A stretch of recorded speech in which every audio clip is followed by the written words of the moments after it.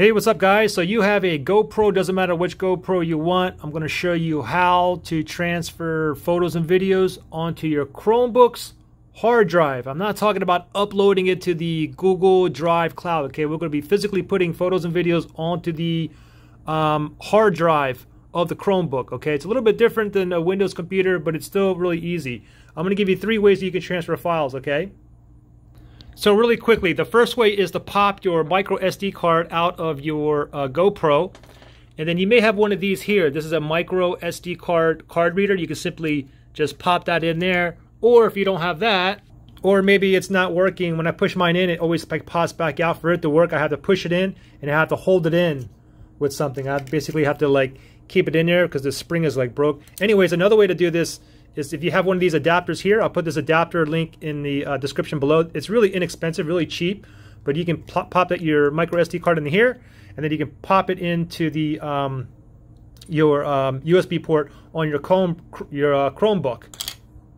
Now the third way is to physically go ahead and connect your um, your GoPro using your charging slash data sync cable. Plug the other end into the USB port on your Chromebook and you have to make sure your GoPro is on, okay? And as soon as I pop this in here, you should get a window that pops up on the screen, okay? Give it a second here. There we go. And it says on my GoPro, it says USB connected. Okay, so basically this window here pops up. This is a My Files window. It's very, it's the same thing as um, an Explorer window in a Windows computer, if you're familiar with a Windows computer.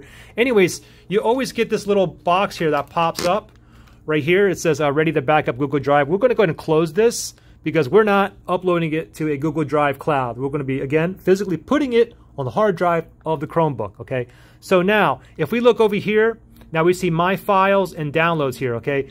Now, this right here, these two uh, folders here is the actual hard drive, okay? And then you have your Google Drive down here, and then over here is my GoPro Hero 8. That's uh, what is connected right now. So if I go under DCIM and then I go under GoPro here, here's all my photos and videos. I only have two photos, two JPEGs and two videos, two MP4s.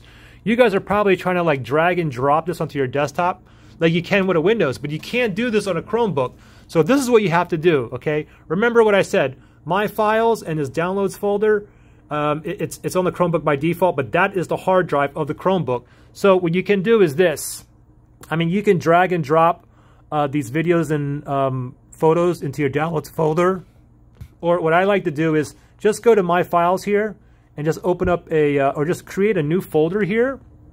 And for instance, we'll call this one Jack. Okay, so from here, what I can do is I can drag and I can drop each one individually into Jack. Okay, and if I double click that, we can see it's here. Now, what I do is I usually open up two windows. So if I go down here to my files, and I click that, I'll go to open up a new window here and I'll make sure that it's on my new folder called Jack and now I can just go ahead and drag and drop whatever I want. We'll just go ahead and uh, do all of them. I'll select that one, press on shift, highlight all of them and I'll drag and drop all of them onto my new folder here and then we can see it's copying right now. Okay, so here's the um, the four um, Actually, it's still copying it. It made a duplicate of my um, my JPEG photo here because I already had it in there. So it's copying all of them. Okay, so now, here we go. So now this is actually on the hard drive, okay? And I can go ahead and double click. Even though I have uh, photos in here. So this is actually on the hard drive now of my uh, Chromebook.